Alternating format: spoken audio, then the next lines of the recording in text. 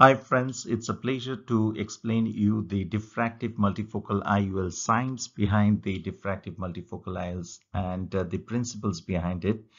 I get a lot of questions wherever I go, people trying to understand how a diffractive multifocal IOL works. And uh, I thought of uh, it is necessary to explain it in a simple and lucid manner, um, how this diffractive multifocal IOLs work. Now, I have written about it in my blog quickguide.org about how this multifocal IOLs work, whether it's a diffractive bifocal or a trifocal IOL. And uh, you can go and read about that in my article in quickguide.org. But for those who are not very comfortable in reading, you can uh, go through this video. Well, in that article, I had started by describing today's lighthouse optics, you know, a lighthouse dates back to the medieval ages, even to the Roman Empire. But in those days, the lighthouse was very complicated to build because you had to build very huge lenses that would send the light parallel um, to the distant sea for the ships to navigate. But then came and, uh, you know, uh, Jean Fresnel, who kind of, you know, understood that much of the refraction that is done by the lighthouse optics can be actually done by much thinner lenses if they can be designed in a sawtooth pattern. This is also called as Fresnel lenses or the kinoform lenses. So what Fresnel did is actually he kind of designed this a sawtooth pattern lens that would do the same job like that of the big bulky uh, you know refractive lenses uh, in the medieval ages um, but they will shed some of the weight and would be much lighter and easier to build. Now, before we go uh, deeper into the science of the diffractive multifocal IOLs, it is important for us to understand some basic concepts. First, what is a wavelength of light? So wavelength, if I stop this animation over here, is the distance from the crest to the crest, two successive crests. Or if we take the trough, it is the distance between the trough and the trough, two successive troughs. That distance is the wavelength of light. um, what is a crest? The crest is the high of a wave.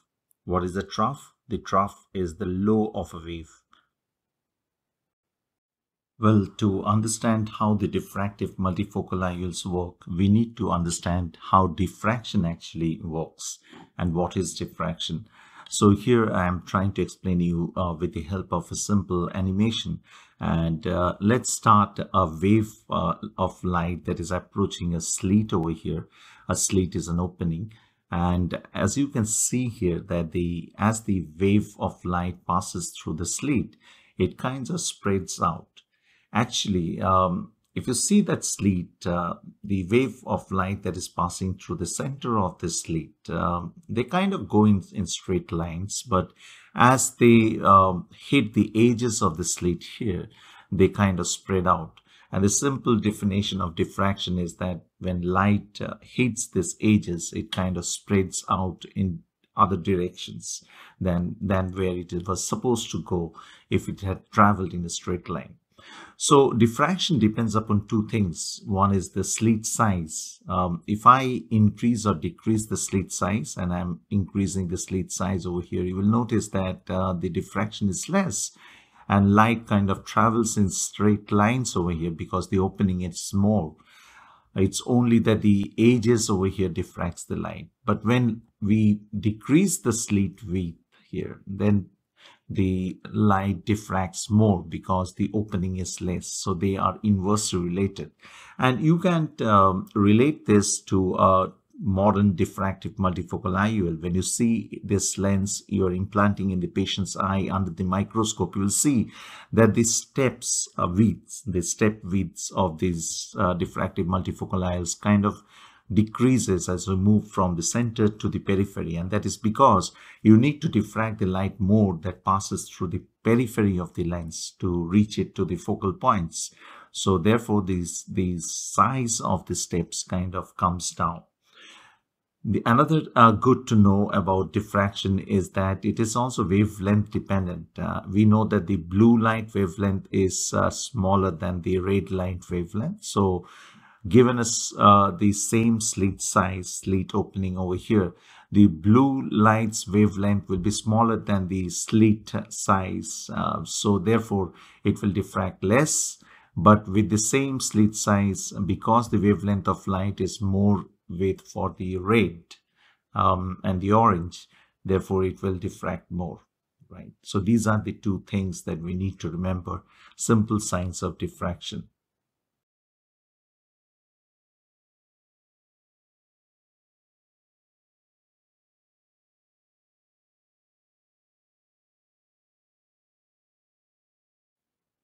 All right, so now that we know diffraction, what is diffraction, uh, it is easier for us to understand uh, Thomas Young's double slit experiment here. Now, light uh, travels in waves. Uh, we um, understood that in the previous experiment. And when light actually passes through this to, with the, through the slit, it actually diffracts, it spreads. We learned that in our previous experiment. And then as it spreads, it goes through these two slits and that is why it is called Thomas Young's double slit experiment because this is the experiment that uh, through which Thomas Young showed the world that light actually travels in waves. Now as light actually passes through these two slits, it spreads, it will interact with each other or in other words it will there will be an interference of light that is created uh, when light actually comes from these two slits because there are two wave fronts now now, as there is uh, an interference, there will be a positive interference of light and a negative interference or a destructive interference of light. Now, what do we understand by a positive or, or, or, constructive interference of light? When light actually travels, um, it has uh, the highs or the crest of a wave, and it will also have the trough or the low of a wave. Now, as the high of one wave meets the high of another wave, the crest meets the crest, there will be a bigger wave created that happens with sound, that happens with light also. And as a bigger wave or or a constructive interference is created, you will find that if you place a screen, you will find this light is actually showing up over here. These are the places where constructive interference is happening because the high of one wave is meeting the high of another wave. So, and, and Likewise, there will be also some light loss because of destructive interference. That is, the high of one wave is meeting the low or the trough of another wave. Therefore, light loss is happening and you can see these shadows being created on the screen. So uh, the zero order is um, is one which we call as, as the place of maximum intensity of light, the zero order. And this is the place which is bang opposite to midway of these two slits over here. And this is how Thomas Young showed the world that light travels in waves. Otherwise, what explains the zero order of maximum light intensity at this place where there is no slit, right? The slit is, um, the zero order is uh, is uh, is opposite to the midway of these two slits, right? And be, why there is a uh, is a place of maximum central intensity maximum light intensity at the zero order is because that light actually is traveling equidistant from these two slits over here. So therefore it is creating maximum light intensity.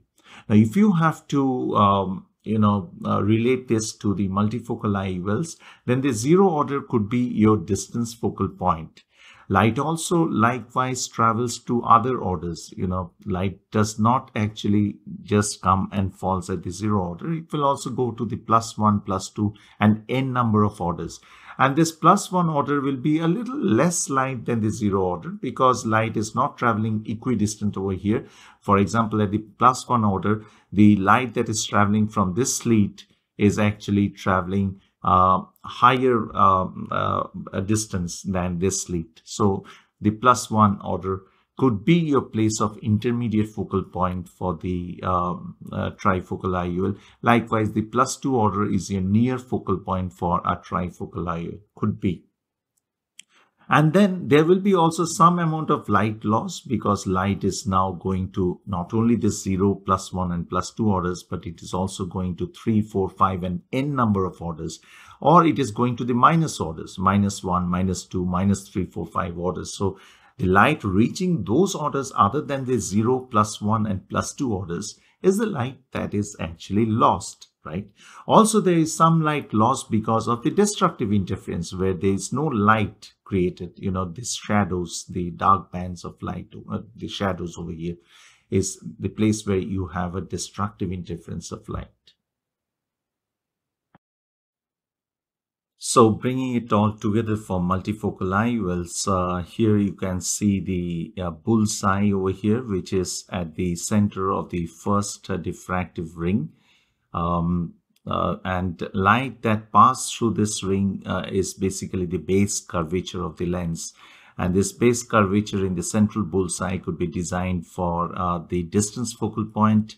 Um, yesteryear's bifocal IOLs uh, like the Visto plus 4 plus 3 they were all for the distance focal point. So any light that passed through this refractive region of the bullseye actually went to the zero order which is your distance focal point and light that actually passed through the um, through this part over here um, through the first ring actually diffracted you know and it diffracted uh, and it reached the zero order uh, which is your distance focal point.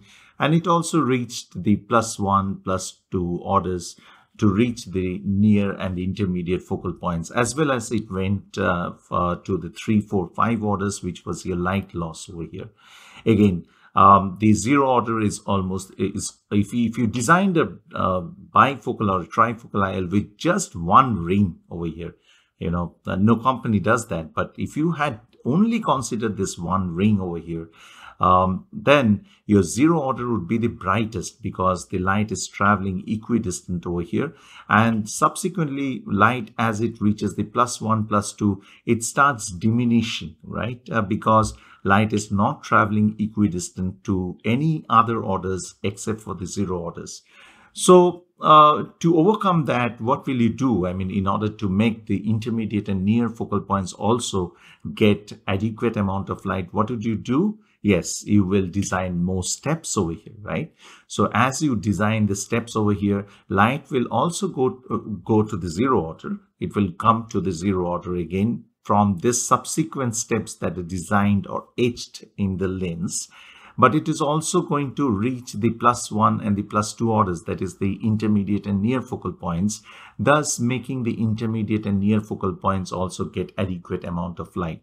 But in uh, physics there's no free lunch so as you build more steps or rings here light is also going to equally go to the other diffractive orders, 3, 4, 5 orders or minus 1 orders, minus 2 orders, and therefore there will be light loss. And this light loss is a source, could be a source of halos and glare for the patients, right? So if there are um, patients complaining about halos and glares, that could be because of a high amount of light also going to, to the uh, higher orders which are not actually utilized. So another important point over here is that, that at what distances should successive steps or rings be designed in that multifocal IOL so that all light that passes through the steps create a constructive interference and ultimately reach the zero order which is the distance focal point or the intermediate or the near focal points. And the steps are designed in such a way that uh, all the light actually creates a constructive interference of light and they are in phase and they are not out of phase. If you have an out of phase it will actually you know uh, create a destructive interference of light. Light loss will be more right? So here you can see the blue and the red wavelength length of light are in close synchrony you know uh, they are creating a constructive interference of light here. So, uh, so the way these steps are going to be a uh, distance from each other is that suppose um, the light that travels through this step takes two wavelengths of light to reach the distance focal point. then the next step would be built in such a way that light that passes through this step will take three wavelength of light to reach the distance focal point. That is, the difference between these two um, wavelength of light will be in whole numbers. Could be one wavelength of light, or could be two wavelength of light, or could be three wavelength of light to create constructive interference, but never in half, not um, wave uh, half a wavelength of light or three fourth of wavelength of light, uh, right? Uh, so the difference between the path that crossed to reach this distance focal point between two successive steps has to be in whole numbers. And for that, there are formulas that optical physics um, experts actually work with to create the constructive interference.